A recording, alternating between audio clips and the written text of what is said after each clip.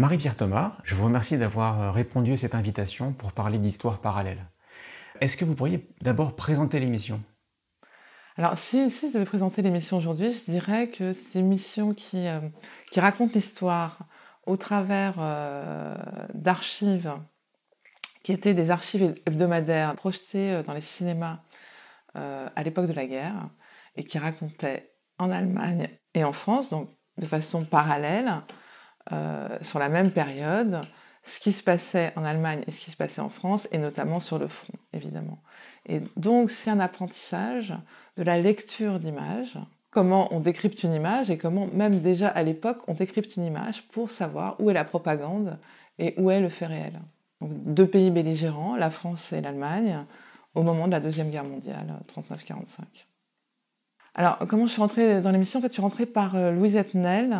alors, Louisette Nel, c'est celle qui a créé Histoire Parallèle, en fait. C'est elle qui a eu l'idée d'Histoire Parallèle. Deux pays, deux archives, euh, qui, euh, explosera au fur et à mesure du temps, mais au moins ce, socle-là, qui est un concept très très fort quoi, et très très novateur, et donc, il s'est appuyé sur les connaissances de Marc Ferraud.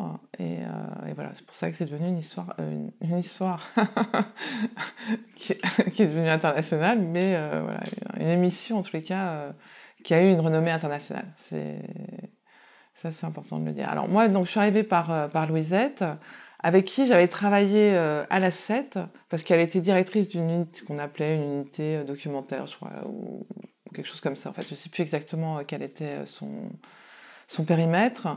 Euh, et, on s'entendait très bien. Euh, et, en fait, quand elle a réorganisé l'émission, euh, voilà, m'a demandé si, je voulais venir. Moi, je voulais venir, mais je connaissais pas grand-chose de l'histoire. Il faut bien le savoir. Quoi. Moi, j'avais une formation de... J'ai une formation scientifique. Et puis, à l'époque, à l'époque, euh, je, me destinais au scénario, mais c'était pas encore euh, très très probant. Donc euh, voilà, j'écrivais, je lisais énormément, je faisais énormément de conseils, mais aussi de, fiches de lecture. Et, et je me suis dit, oh là, il faut absolument que je rentre sur cette émission parce que ça me fera, voilà, j'aurai un, boulot et puis je pourrais écrire par ailleurs, quoi. Et, j'avais la chance d'être bilingue, euh, anglais-français, euh, et donc ça, ça, ça, les aidait beaucoup. Et je, je comprenais l'allemand, en fait. J'aurais fait croire que je parlais, mais je ne le parlais pas, mais je comprenais. donc voilà, c'est comme ça que, que, je suis entrée euh, sur Histoire parallèle. Donc je, donc je ne connaissais pas l'histoire, donc il a fallu, là je me suis dit, bon bah, là il faut, il faut que tu t'y mettes, quoi. parce qu'il va falloir faire croire que tu, tu, connais quelque chose, donc il faut, que, il faut bosser, quoi. Donc j'ai commencé à à potasser quoi, le, le sujet. Et puis euh, ensuite, euh, bah, en fait, avec Marc Ferraud, ça a été une vraie rencontre. Quoi. Vraiment, la, chance que j'ai eue, c'est que Marc Ferraud, qui était très impressionnant hein, pour quelqu'un de, de l'extérieur, euh, moi que je connaissais par France Inter plus que par la télévision, parce que je n'avais pas la télévision, donc j'avais que des, que des handicaps. Mais j'ai tout rattrapé. Hein. J'ai travaillé. Et vous êtes rentré à Histoire Parallèle en quelle année? En 80 fin 93. Très bien. donc septembre 93. Donc il y avait déjà euh, quatre années d'émission. Oui, exactement. Quatre années d'émission qui avaient été consacrées jusque-là à la Seconde Guerre mondiale. C'était la, donc la fin de la, guerre au moment. Oui, c'était. Alors il y avait encore de la guerre quand même, hein, parce qu'il n'y avait pas la libération de Paris, il n'y avait pas le débarquement, etc. Donc ouais, j'arrivais à une période très curieuse en histoire. Je me souviens quand je regardais les conducteurs de, des archives je me disais, mais c'est quoi, quoi C'était. Euh, quand, quand je dis qu'il a, fallu bosser, il a fallu bosser, quoi. C'est pas. Euh, mais mais euh, le, le jeu, on va. Enfin, moi, j'adore apprendre, en fait, donc ça ne m'a pas dérangé. Hein. Me, et puis, je me suis dit, je. voilà, je vais y arriver, quoi. Il n'y a, a, aucune raison que j'y arrive pas. Et puis, et puis, je me suis très, très bien entendue avec Marc. Alors, la, chance que que j'ai eu, c'est que euh, euh, personne ne m'ait posé de questions sur l'histoire. En fait, personne s'est dit que je connaissais rien dans l'histoire. Ça, c'est assez. Donc j'ai eu cette chance. Donc du coup, j'ai pas eu à mentir, quoi, parce que sinon, j'aurais été bien, bien embêtée, quoi. Et, euh, et c'est qu'en fait, on m'a fait confiance sur les. Parce que moi, comme je connaissais pas les historiens, évidemment, j'allais pas sur les historiens, quoi. Je suis allée sur des témoins et surtout beaucoup d'Américains, parce que comme je parlais euh, facilement anglais, c'était très facile pour moi. Donc j'ai fait venir des gens nouveaux en fait sur l'émission. Et alors, le, premier contact avec l'émission, vous disiez que vous aviez les, conducteurs, mm. ça, ça a été, j'imagine, un choc de voir tout ce détail, de voir cette actualité quotidienne? Oui, oui, oui, c'était un... Bah, bah, c'était que des... Pour moi, c'était que des découvertes, quoi. C'était tout le front, le... tout était des découvertes, quoi. Euh... Et ça faisait beaucoup d'un coup, quoi. C'était euh, énorme. J'avais acheté... Euh, j'ai acheté énormément de livres d'histoire, quoi, pour euh, parce que j'avais des vagues souvenirs évidemment de la Deuxième Guerre mondiale, mais c'est pas 43 justement, c'est pas énorme. Il n'y a pas. Il y a peut-être des choses, même aujourd'hui je m'en souviens pas, hein, mais des fronts peut-être sur, sur l'Est, des, choses qui bougent sur l'Est, mais qu'on n'étudie pas du tout au lycée. Quoi. Donc, mes seuls souvenirs c'était le lycée, parce qu'après moi j'ai fait des maths, donc aucun. Maths physique, ça n'a aucun rapport avec, euh, avec l'histoire, donc c'est un, peu, ouais, un peu démuni. Et euh, donc c'est pour ça que d'ailleurs je, n'avais pas, parce qu'à un moment donné j'ai pensé, je me suis dit peut-être que tu devrais acheter les ABC du bac, parce que mais ça ne disait rien sur 43, ni surtout, en fait, les archives allemandes surtout, qui, étaient, euh, voilà, là pour le coup, euh, que j'avais, comme je comprends en fait, c'est facile. Enfin voilà, je comprenais que je ne savais pas grand-chose. C'était ça le, le truc, et donc donc c'est passé d'une histoire qui est l'histoire euh, qui a été digérée par le temps, qui est devenue un peu un mythe, à une histoire qui est plus quotidienne, qui est plus de l'actualité. Voilà, exactement. Et, euh, alors en fait, euh, donc il y, avait sur l'émission Histoire parallèle donc des actualités françaises versus allemandes.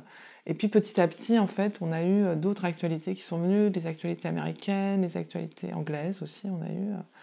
Euh, et, donc, et donc, il y avait d'autres histoires parallèles en réalité. Donc, de temps en temps, en fait, on, changeait d'optique. C'était pas forcément l'archive allemande versus l'archive française. Et donc moi, quand je, suis arrivée, je, pense que certainement on devait avoir une archive américaine euh, ou en tous les cas dans l'archive allemande, on devait parler du front, euh, du front pacifique, certainement. Et donc, euh, parce que la NHK, c'est venu plus tard, l'archive japonaise, en fait, c'est venu plus tard. Et, donc, je, donc, moi, je m'occupais de trouver la personne qui, en plateau, allait donner la réplique à Marc et raconter quelque chose par rapport à l'archive qui décrivait soit le quotidien, soit parlait d'un fait d'armes. Euh, et, donc c'est comme ça que j'avais trouvé ce publicitaire, donc, je me souviens pas le nom malheureusement, euh, qui en 43 était, euh, était sur place quoi. Donc et qui avait qui en avait parlé dans un livre, hein, sinon j'aurais pas pu le trouver parce qu'à l'époque il n'y avait pas internet. Ce qu'il faut savoir c'est qu'à l'époque il n'y avait pas internet. Il y avait moi mon réseau. donc, une fois que je suis rentrée sur Histoire parallèle, en fait, j'ai travaillé énormément avec les bibliothèques. Il y avait quand même des bibliothèques en réseau sur le Minitel ce qui était euh, ce que je consultais tout le temps. Ce qui était très très bien, oui, oui. Ah oui, ce qui était très très bien parce qu'on pouvait euh, trouver euh, comme ça des, des, des, livres en fait. Et, et, je fréquentais énormément les bibliothèques. Alors il y en a une qui heureusement a récupéré à la mort de Marc en fait un fonds qu'on a appelé Marc Ferrou là-bas, qui était la BDIC, Bibliothèque de documentation internationale et contemporaine. Voilà la BDIC à Nanterre, qui est un fonds génial en fait pour pour qui fait des recherches en histoire et en relations internationales.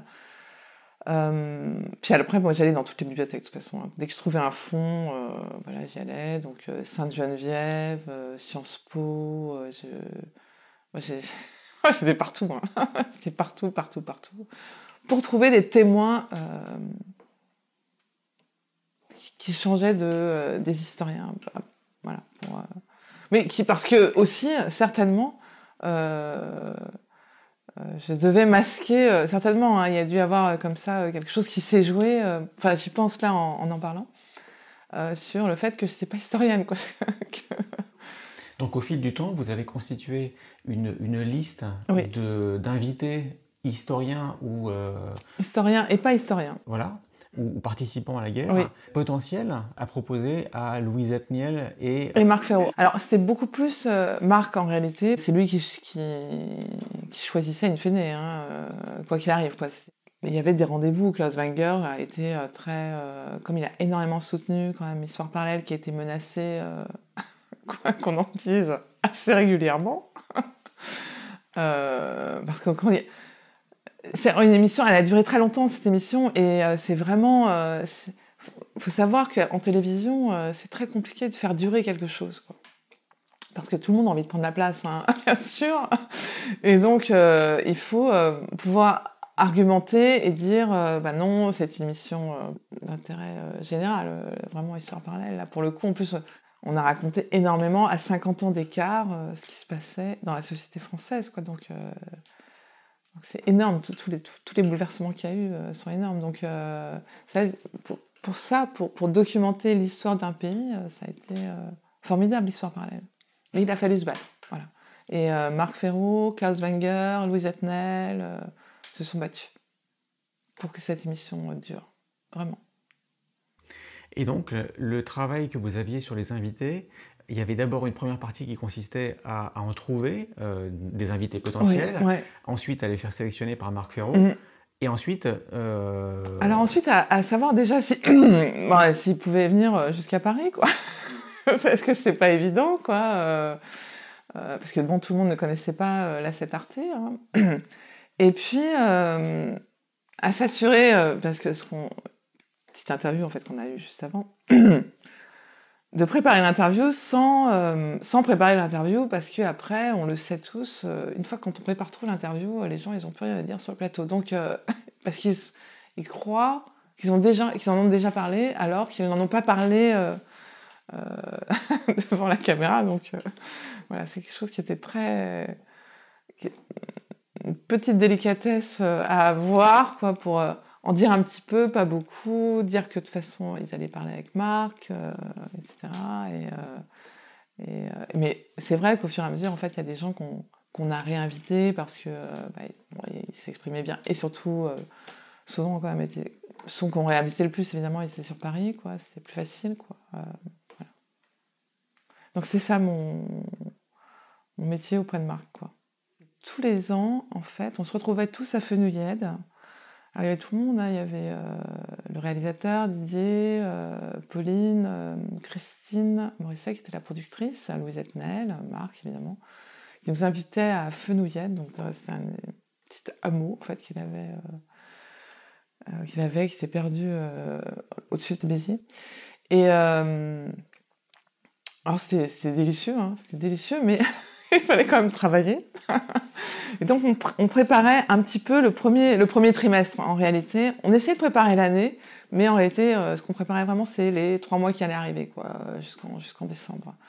Et euh, donc en fait, euh, moi c'est vrai que je travaillais énormément en amont, quoi, mais pour, pour essayer d'avoir les gens, le... parce que on n'enregistrait pas un épisode par semaine, hein, on en enregistrait quatre 4 ou 5 sur deux jours, en fait, parce que parfois j'avais quand même une, une ventilation de deux jours. Quoi. Rappelons qu'il y avait en gros 52 émissions par an, puisque c'était hebdomadaire.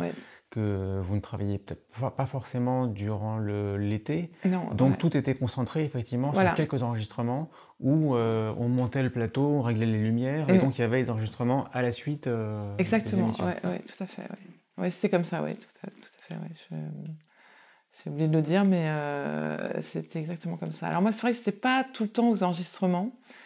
J'étais... Euh, Marc, euh, Marc disait, il y, a, y a les culs assis et les culs en l'air. Je vais donner des choses sur Marc. Et donc moi j'étais en cul en l'air. Donc c'est-à-dire qu'il y a les gens qui restent dans des bureaux et puis il y a les gens qui, qui bougent. Et, et moi, c'est vrai que je bougeais beaucoup, puisque j'allais, ce que je disais, hein, j'écumais quand même beaucoup de bibliothèques pour trouver toujours, en fait, voilà, des gens euh, assez. Euh, euh, enfin, des choses qui. qui qui, surprennent, qui, des angles, voilà. Et mais c'est parce qu'il y a eu tout ça qu'on a pu, moi, moi c'est mon grand fait d'armes, mais, euh, voilà, c'est quand même, on a eu Henry Kissinger quand même sur euh, Histoire parallèle, quoi, donc c'est pas, pas rien. Moi, je me souviens que je m'étais dit, euh, quand, finalement il a dit oui, parce que ça a été très compliqué pour qu'il dise oui, hein, bien sûr, ça a pris beaucoup de temps. quand finalement il a dit oui, je me souviens, je crois que c'était en 96. Moi, je m'en souviens encore. Hein. Je, me souviens que c'était dans la rue, je disais aux gens, je disais, Et toi, tu fais quoi dans la vie? Non, parce que moi, je suis Kissinger sur Histoire parallèle. Hein? Alors bon, voilà quoi. Voilà, donc j'étais euh, quand même très très fière. Bon, après, il a fallu préparer l'émission, et là, je me suis dit, mais pourquoi j'ai pris Rocky Kissinger mais, mais Marc était très très content, quand on était très très content. Euh, on pétait le feu, quoi. Avec Marc. D'autres souvenirs d'un invité comme ça? Alors, oui, il y y a, une autre invitée qu'on a eue, et surtout qu'on a surprise, en fait, et qui, après, en fait, a changé euh, son histoire. Et ça, c'est vraiment, voilà, c'est vraiment un fait d'armes personnel. Euh, c'est Pamela Harriman. En fait, euh, donc, euh, Pamela Harriman, ancienne ambassadrice de France, américaine de France à Paris, en fait, sous Clinton. Et, donc, on l'a sur Histoire parallèle. Donc, elle, dit oui, et elle dit oui parce que, en fait, donc moi, toujours pareil, hein, comme je, j'écumais les bibliothèques. En fait, à la je me souviens que c'est à la que, que j'ai découvert ça, en fait. Euh, j'étais dans les mémoires de Churchill et, euh, je vois que euh, dans ces mémoires, en fait, bon, c'était en anglais, hein, tout était en anglais. il, parle de, de, son fils qui a une petite amie qui s'appelle Pamela, qui est Pamela, donc, et avec qui, en fait, il part aux États-Unis et puis à Yalta Yalta, ouais, ça. Pour, euh, et il part avec. Enfin, je comprends qu'il part avec elle. Et d'un autre côté, je lis les mémoires d'Ariman, qui est, euh, lui, euh, à Yalta, et puis qui fait des allers-retours entre la, Russie et, les États-Unis. Et tout d'un coup, je comprends que Harriman a une histoire avec Pamela. Mais vraiment, c'est en, travaillant les deux livres. Donc j'en parle à Marc. Je lui dis, euh, je dis Marc, euh, Pamela Harriman, je crois qu'elle a été euh, l'espion de Churchill. Il faut que tu lui poses la question parce que voilà ce que je lis. Donc je, lui explique, je lui montre, je montre le passage parce qu'en fait c'est des passages dans les mémoires d'Harriman et dans les mémoires de, de Churchill. Donc je lui montre, etc. Et je lui dis, voilà, je pense qu'il faut lui dire. Enfin, je pense que Là, avec ça, normalement, elle va dire oui parce que euh, elle en parle pas, quoi. Personne n'en parle, quoi. Et euh, donc c'est pour ça que c'est passionnant l'histoire. Hein. Euh, c'est pour ça qu'après j'étais passionnée. ah pardon. Et, donc et donc je et donc on lui dit à Pamela Harriman. Sur le plateau? Sur le plateau, ouais, on lui dit un petit peu avant, hein, un petit peu avant le. Bah, toujours pareil, hein, pour pas. Pour pas. Alors, on était à l'ambassade américaine. Hein. C'est une émission qui s'est tournée à l'ambassade et euh, à Paris. Et donc, euh, on lui dit, et là, euh, oui, c'est vrai.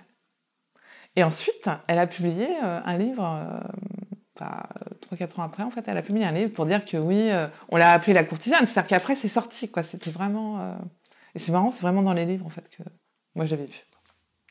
Et donc, quelque part, vous avez un, un fond de détective privé euh. Alors, euh, moi j'adore les polars. Moi j'écris du polar, euh, je suis scénariste, j'écris du polar aujourd'hui. Hein. donc oui, je, je revendique tout à fait le, le fond détective privé.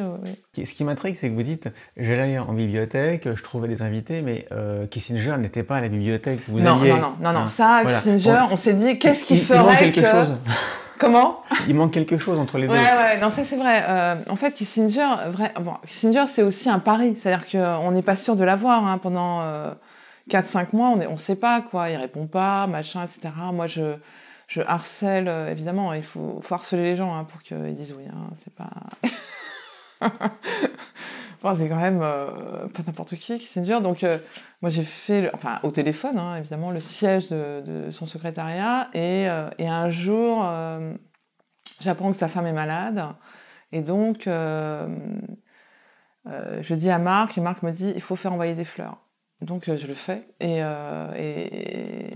et, c'est comme ça, en fait, je pense que ça, ça a joué, quoi. Mais donc, il y, a toujours cette idée de détective privé qui est là, qui est euh, on a des informations et il faut les utiliser. Alors, c'est vrai que Kissinger, c'est euh, euh, ce que je disais. Hein, je disais, bon, bah, toi, t'as fait quoi dans ta vie? Moi, j'ai eu Kissinger. Quoi. Après, on sait pas trop quoi faire de, de mieux. Kissinger, c'est compliqué. On, est garanti aussi avec ce genre d'émission, quand, quand, on a ce genre de, de, de témoins, de rester à l'antenne. C'est aussi une, une garantie. Quoi.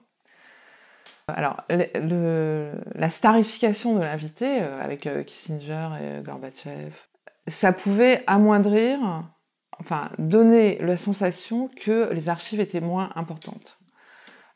mais les archives aussi, en fait, c'est vrai qu'il y a comme une espèce de guerre entre l'invité et les archives. Alors, euh, les archives ont été très importantes pour le lancement de, et jusqu'en 45 en fait. Euh.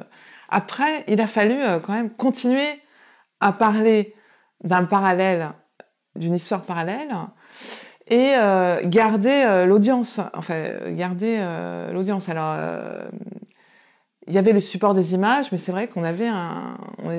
je pense que le support invité a été important aussi, quoi, de, ce fait-là, quoi. Mais Bon, euh, Pamela Rayman, c'était euh, encore pendant la guerre, hein, euh, donc c'était en 94, je crois. Donc, Est-ce qu'on peut dire que pendant tout le, tout le fil rouge de la guerre jusqu'en 45, mm. il y avait une fidélisation quelque part qui était implicite à cause du conflit mondial qu'on n'a plus eu par la suite, où c'était plutôt les sujets qui étaient chaque semaine différents et là, l'invité avait plus d'importance. Ouais, ouais, c'est plus, c'est plus comme ça en fait. C'est alors, on ne l'a pas conscientisé euh, tout de suite, hein, bien sûr, euh, mais en fait, pour durer, il a fallu euh, être plus thématique dans, l'approche de, l'émission que, que. Mais on avait toujours la base des archives, hein, quand même, parce que sinon, je crois qu'on aurait pu. Enfin, ça aurait changé de concept, donc c'est pas possible. On pouvait pas échapper au concept, qui est donc très fort. Et, et qu'il n'y a jamais eu d'autres. Hein, il n'y a, jamais eu d'autres concepts aussi forts. donc, dans les invités histoire parallèle, pendant, euh, la, pendant la guerre 39-45, en fait, on a eu aussi euh, Lucie Aubrac, qui nous a révélé, euh, qui, en parlait, qui en a parlé pour la première fois, en réalité. C'est ça qui s'est passé sur le plateau d'Histoire parallèle, son amour pour Raymond Aubrac, et qui nous a dit comment, en fait, elle avait sauvé son mari. Et de, de cette histoire, en fait, est né plus tard le film Lucie Aubrac avec Carole Bouquet. Histoire parallèle a permis aussi de faire ressortir, de révéler en fait euh, soit des faits divers de l'histoire, de l'histoire euh, française pendant la Deuxième Guerre mondiale, puisqu'il y en a eu, euh, soit voilà, des, histoires d'amour. C'est une belle histoire, quoi, l'histoire entre Lucie et, son mari. C'est une très très belle histoire. Et moi, il y a une autre chose que j'ai faite qui était, bon alors c'est pas des soldats très connus, mais que j'ai faite au moment du débarquement c'est de retrouver sur la même plage un Allemand, un Français et un Américain. Quand on, sait la boucherie que ça a été, j'avais des, larmes aux yeux c'est, de, voir que les trois quoi, étaient heureux. Alors voilà, Madame Riberio, ça commence, donc c'est en, en 95. Euh, et. Euh, on commence à être sur des thèmes, en réalité, puisqu'on est là sur. Euh, ça s'appelle Les femmes s'émancipent. Van Lebrio parle, euh, donc une, historienne très engagée à gauche, euh, résistante, très, qui n'a pas sa, langue dans, sa poche, d'ailleurs, Marc nous le dit. Et alors, pour parler d'éducation, elle dit Oui, alors l'élevage, on s'est tous regardés, on fait Ah, l'élevage on va peut-être s'arrêter, on va peut-être reprendre. Non, non, l'élevage. Non, non. Quand je dis élevage, c'est élevage. que ça m'a tellement choquée, quoi, que je m'en suis souvenue très très longtemps. Quoi. Parce que je me suis dit, elle a eu l'opportunité quand même de changer ce, nom et de dire, euh, non, c'est l'éducation parce que... Euh, euh. et on se dit, bah non, en fait, c'est vrai que du point de vue de la femme, et pas du point de vue des enfants, du point de vue de la femme, c'est de l'élevage parce que je, je, dois travailler. Quoi. je suis pas là pour éduquer. Je suis là pour travailler. Et, il se trouve que voilà, j'élève des enfants. Et Madeleine elle, elle, habitait Paris. Lucie Aubrac, elle habitait Paris. Euh, il y avait très peu de gens de province, en réalité, hein, sur, euh, sur tous les invités en fait, qu'on a eus et qui étaient euh, historiens, sociologues, chercheurs en France. Mais il y a eu beaucoup d'étrangers euh, et, c'est là où c'était euh, compliqué de, caler la date parce que euh, bah, quand on est chercheur à l'étranger, on se dit bah, pourquoi je vais aller en France pour une heure d'émission et me taper six heures de décalage et il n'y aura pas de toute façon parce que Nous, il n'y avait pas d'argent pour mettre les gens en business class, etc. Ils, voyageaient en classe économique. s'ils venaient, venaient en France, ils venaient par le train. Donc, c'était pas, voilà, c'était pas, c'est pas hyper glamour, quoi. C'était pas TF1, quoi. C'était Arte le samedi entre 17h et 18h. Donc, voilà, quoi je crois que c'est 17h, 18h, 18h, 19h, mais enfin bon, c'était pas, c'est pas le prime time, c'est pas, voilà, c'était pas. moi j'essayais de glamouriser au maximum, effectivement, pour faire venir ou les Japonais ou euh, les Américains, mais bon, en réalité, en réalité, euh, c'est compliqué quoi. Et vous avez quand même réussi à avoir peut-être 400 euh, ou 500 invités différents, c'est ah, énorme. Mais ça c'est énorme, ouais, ouais. Bon, il y a quand même Marc Ferro, c'est pas. Euh, Marc Ferro fait venir aussi. Hein, euh, Marc Ferro, c'est euh, à l'époque et, aujourd'hui, et, enfin, voilà, depuis toujours, en fait, c'était quelqu'un quand même dont le sérieux, il était connu à l'international, puisque sa réputation a commencé à se faire aux États-Unis avant d'être en France, donc la chance, elle est là. Et il était connu euh, dans les pays de l'Est, l'Union soviétique, il était connu aussi par... Euh, euh, on en a moins fait venir, mais le continent africain. mais comme en fait il était directeur de recherche à l'école des hautes études, puis directeur des annales, ben, là-bas aussi en fait il y avait des chercheurs. Quoi. Donc c'est, la, chance elle est là, hein, c'est que quand même Donc je parlais de tous les fonds de bibliothèque, mais il y avait aussi euh, l'école des hautes études, quoi, qui était un fonds inépuisable de, de gens, euh, hommes ou femmes, très, euh, très cortiqués, très intelligents, très fins. Alors je me souviens d'un qui était Elika Mbokolo. Ah oui, oui, il était formidable. Il était, il était généreux, il était c'était quelqu'un de très généreux, quoi. Très généreux en, en, parole, mais même en, de, très disponible. Et moi qui m'apprenais énormément de choses, quoi. Parce que, encore une fois, hein, c'est pas hyper. Euh, moi, j'y allais comme ça, un petit peu euh, à tâtons. Donc. Euh, il y a eu un autre, moi, historien qui m'a marqué, que Marc, c'est Marc qui l'a et qui n'était pas à l'école des hautes études, je ne, crois pas, mais euh, qui s'appelle Shlomo Sand, euh, qui avait un regard très neuf sur euh, Israël, enfin un regard qui n'existait pas ailleurs, et c'est vraiment le, c'est vraiment Marc en fait qui l'a, qui l'a repéré. Quoi. Et je trouvais extraordinaire ce, cet historien, je me sens, donc euh, j'en parle parce que, évidemment, euh, on est à un moment d'histoire qui est euh, très compliqué en France en ce moment, donc enfin, surtout en Palestine et en Israël. Il est venu deux fois. Il est venu deux fois, oui. Il était. Il était c'est.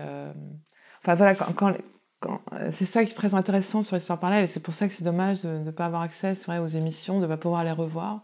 C'est qu'à chaque fois, en fait, les, euh, en dehors des archives et en dehors du, prestige de certains invités, en fait, on, avait, on était obligé de réfléchir d'une autre façon. Quoi. Ça, ça, nous offrait d'autres façons de penser euh, qui ouvrent l'esprit plutôt que d'être toujours confirmé dans ce qu'on appelle aujourd'hui, euh, puisque aujourd'hui c'est connu, les biais de confirmation. Donc c'est ça que proposait Histoire parallèle, c'est que ça ouvre l'esprit et ça nous oblige à réfléchir contre nos propres préjugés. Quoi.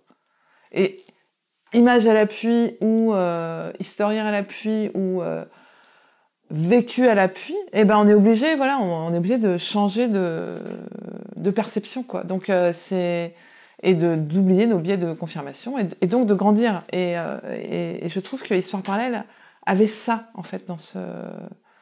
Ça nous a tous fait grandir, je pense. voilà. Et, enfin, mais il y a eu vraiment un avant et un après euh, Histoire parallèle, très très clairement. Mais bon, euh, c'est vrai que je me disais, une chance énorme de travailler avec euh, Marc Ferraud. Même après, donc, il m'a demandé, j'ai été associée à tous ses livres, jusqu'à ce que je dise Marc, il va falloir que j'écrive, il faut que j'abandonne, il faut que j'arrête, quoi. Je peux plus faire les deux, quoi. Parce qu'il était très très compliqué, hein, donc. Alors, il était très très malin.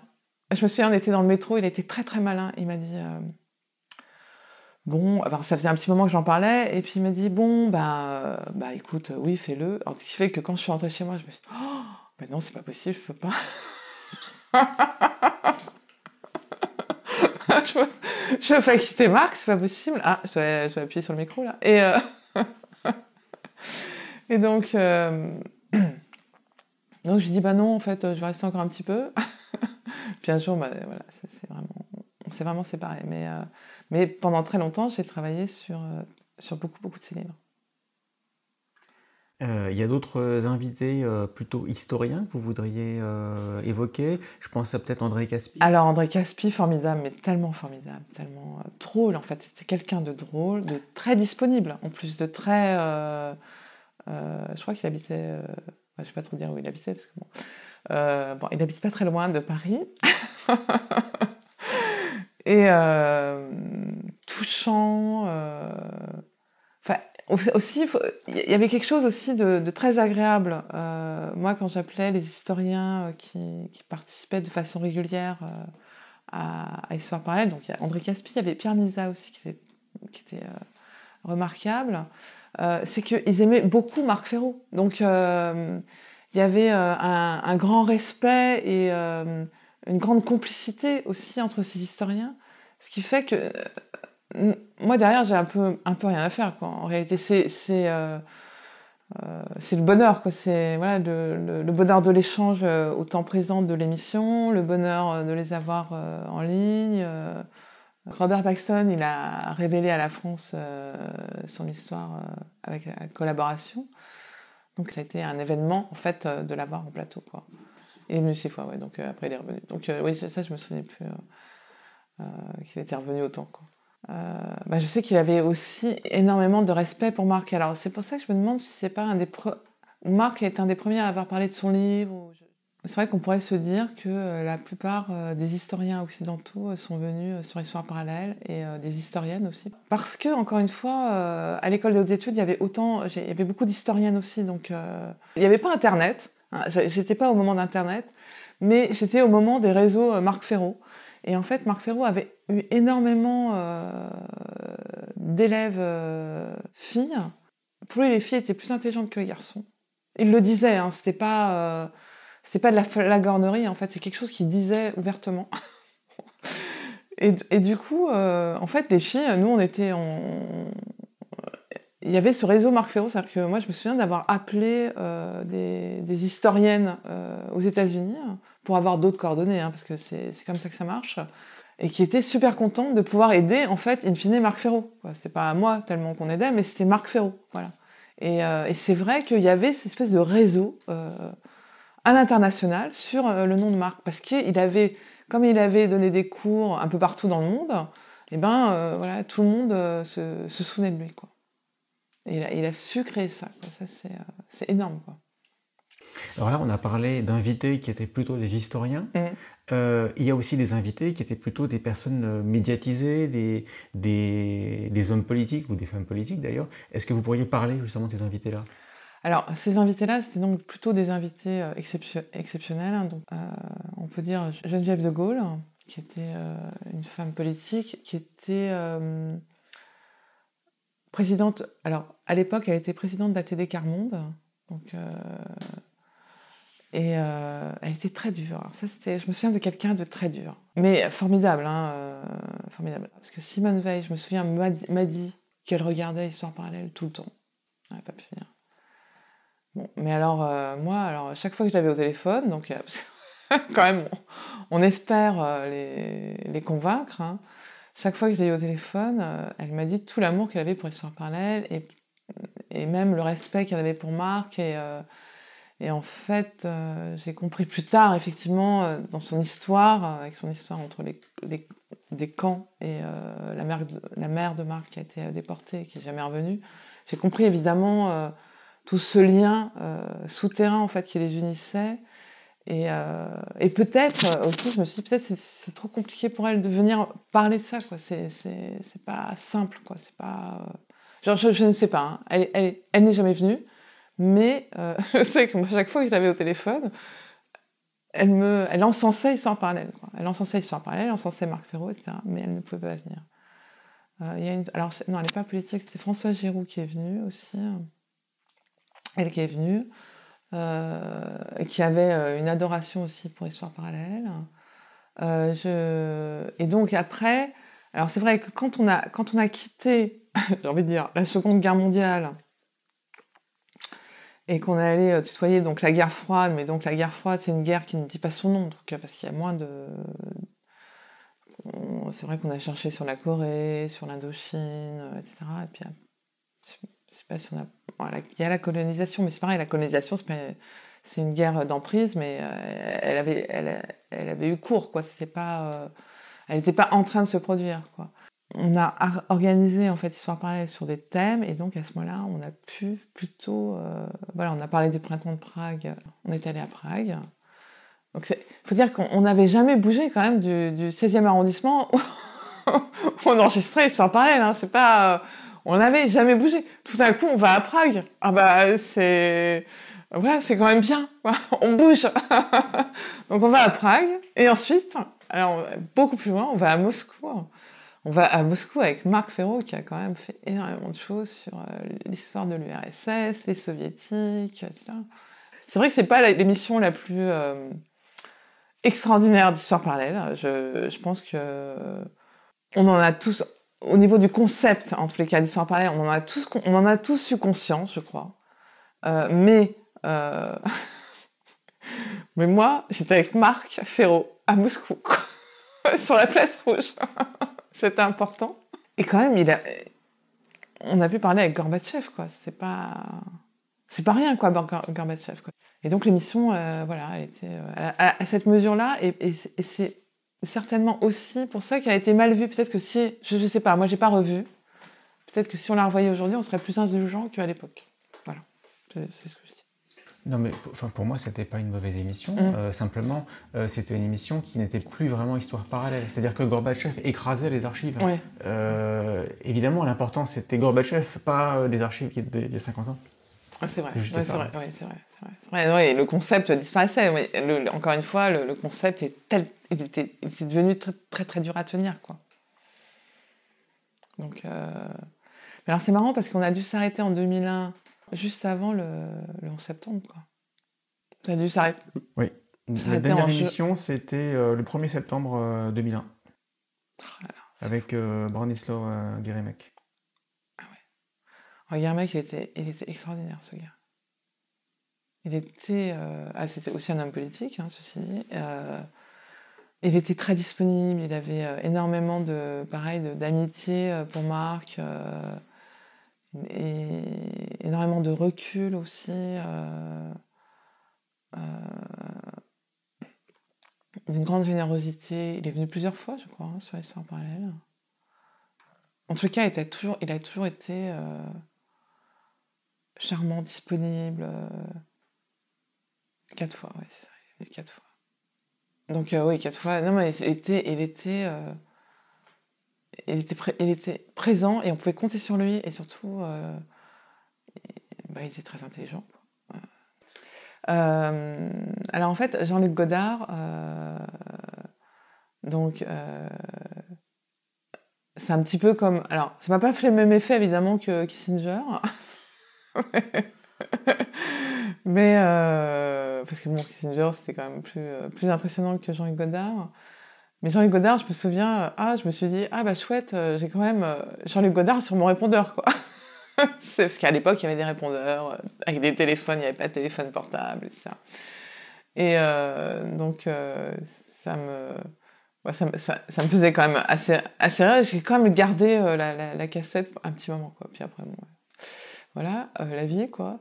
Et, mais Jean-Luc Godard n'a dit oui que si enfin qu'à la condition qu'il y ait euh, Eric euh, Hobsbawm, qui pour lui est un, enfin euh, c'est vrai, hein, est un grand penseur et surtout même avec Marc en fait c'est quelqu'un qu'on souhaitait absolument aussi recevoir Eric Hobsbawm. Donc mais c'est marrant ce, ce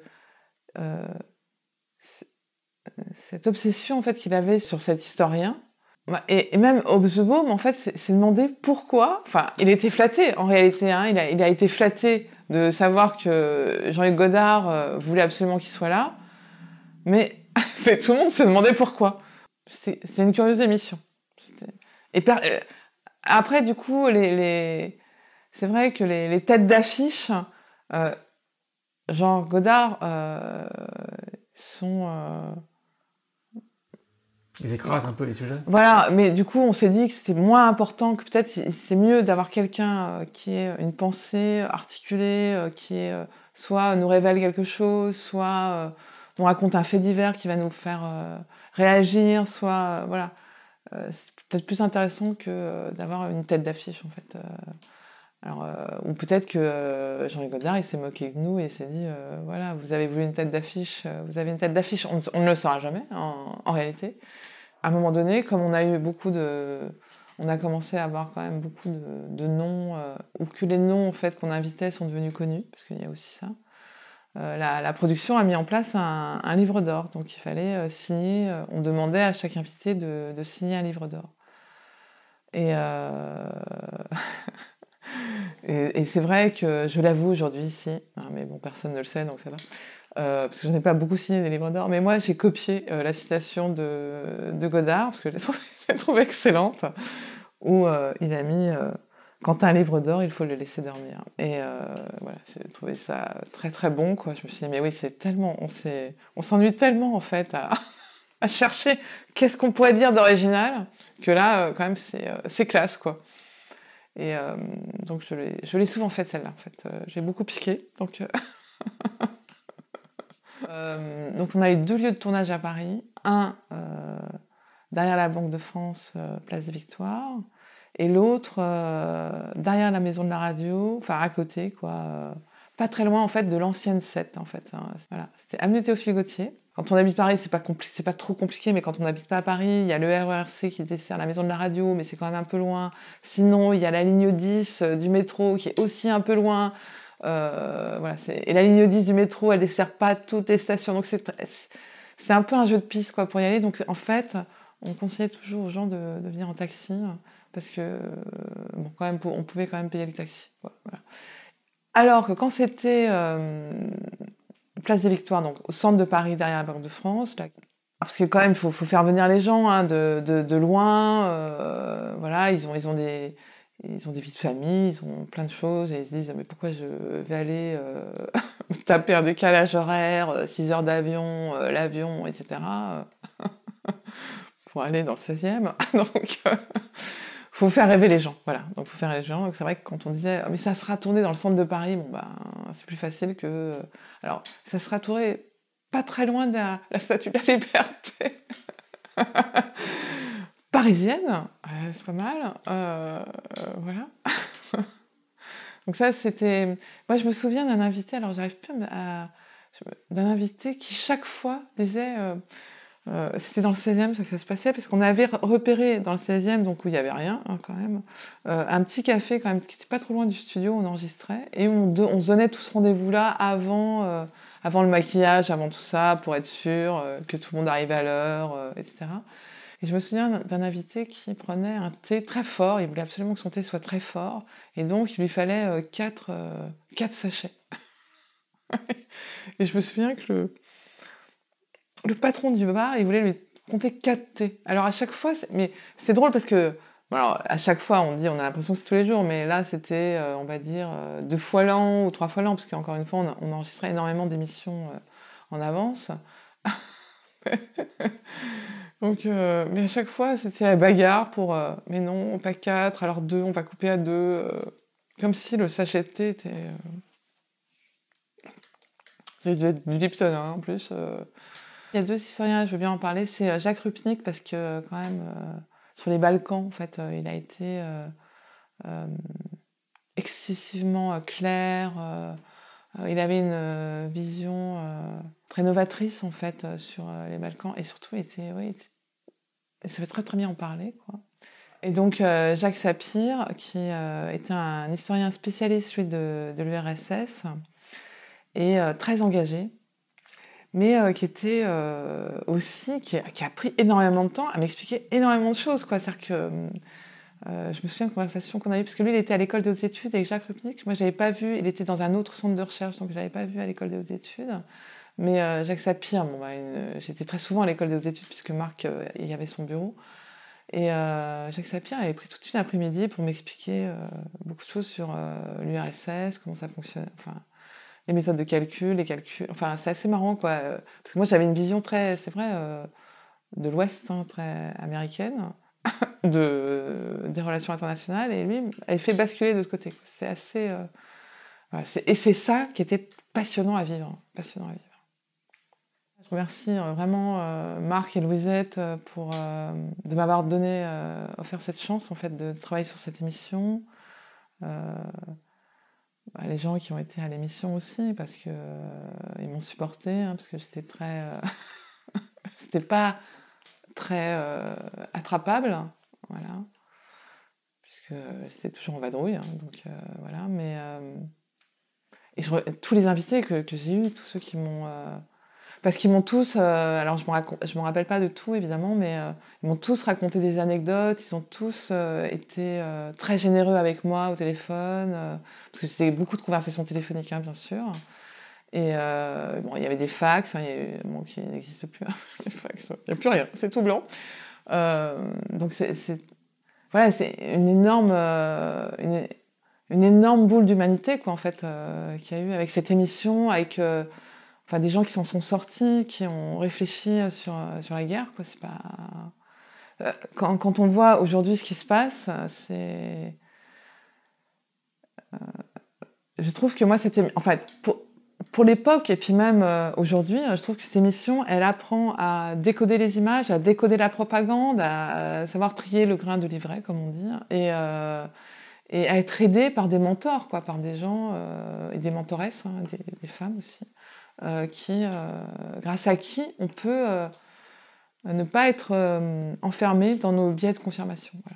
Et puis je vous remercie vous en fait aussi, si, parce qu'en fait, moi ça a été un choc énorme quand, quand au décès de Marc, quand j'ai appris le décès de Marc, et et de voir que de, voir votre post sur Facebook, en fait, ça m'a euh, ça m'a aidé quoi. Je me suis dit, il ne comptait pas que pour nous, en fait, euh. Et c'est euh, et de, de, voir tout, tout, le travail que vous faites sur l'émission, ça c'est énorme parce que ça, ça fait vivre l'émission. Et ça, merci quoi.